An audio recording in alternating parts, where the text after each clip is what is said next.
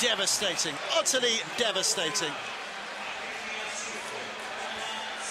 Well, an idiot on the field wants to get to him, but um, no doubt about Lionel Messi.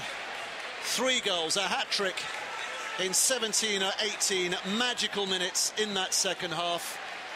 And then providing one for Aguero as well, himself a second half substitute.